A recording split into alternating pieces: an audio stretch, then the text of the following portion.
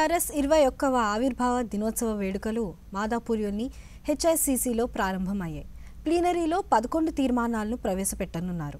CM KCR మొదట party జెండాను ఆవిష్కరించి అనంతరం తెలంగాణ తల్లి విగ్రహానికి పుష్పాంజలి ఘటించారు. తర్వాత తెలంగాణ అమరవీరులకు నివాళులర్పించి ప్లీనరీని ప్రారంభించారు. పార్టీ సీనియర్ నేతలు ఒక్కొక్కరుగా తీర్మానాలను ప్రవేశపెట్టారు.